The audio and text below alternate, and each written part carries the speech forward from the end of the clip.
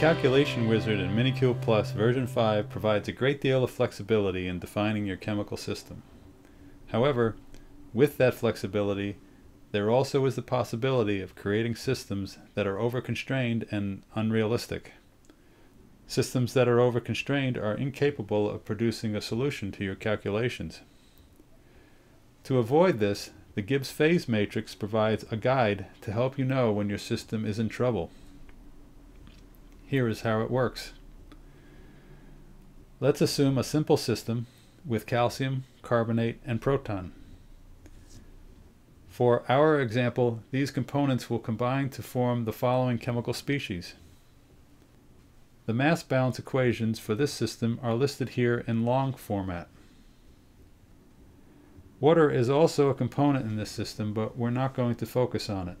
The activity of water is always equal to 1 and is treated like a fixed species.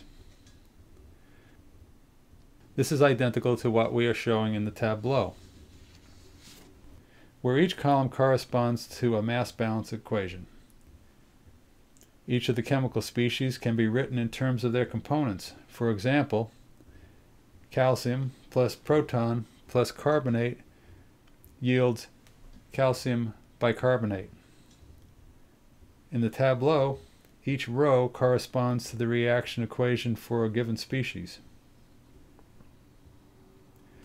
Since each species can be written in terms of its components, this means that each mass balance equation can also be written in terms of its components.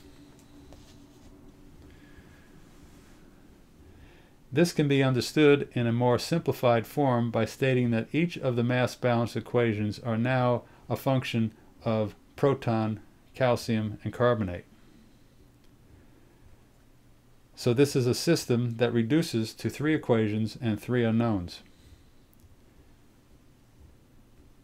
We can reduce the tableau to view just the mass balance aspects. As we said earlier, water has a fixed activity of 1. If we add water as a fixed species, the problem gets smaller, and the tableau shows our three equations, shown here as the white columns. The yellow area shows fixed species and components that are removed from the problem.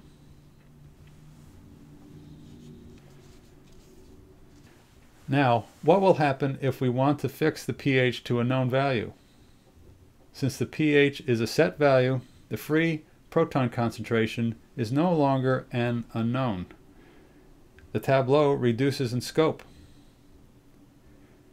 and our problem reduces down to two equations and two unknowns.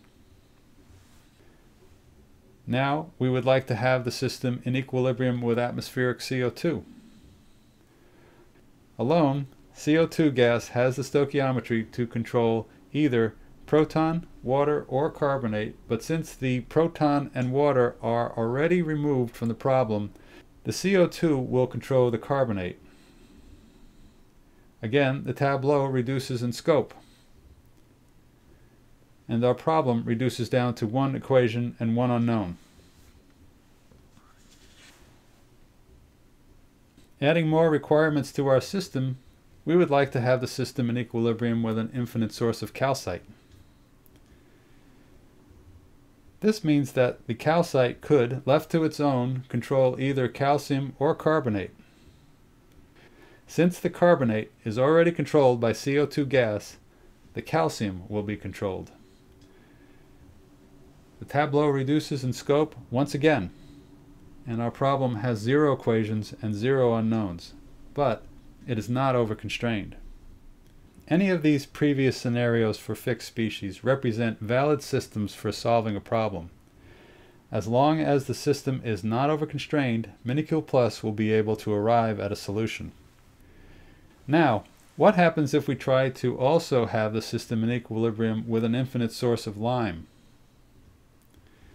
The lime, on its own, can control either the calcium, water, or the proton, but in our system, these components are already controlled by other species. At this point, the system is overconstrained, and the tableau has no way to accommodate the additional requirement. Fortunately, you don't need to keep ongoing tabs on what phases are controlling what components. Using the Gibbs phase matrix, you can see how your system is being controlled and it will give you a warning when the system gets over-constrained. The light blue area indicates species that are defining the system. A red line indicates a species that has exceeded the phase rule. And the white area, not present here, indicates species that were not addressed when the phase rule violation occurred. While this information can be helpful in understanding what species are causing problems, the Gibbs phase matrix can be used in a more trial and error way to see what system scenarios are problematic. When controlling redox, solids, fixed ions, gases, CO2, or pH, the phase matrix provides a roadmap for creating systems that will complete their calculations and produce realistic results.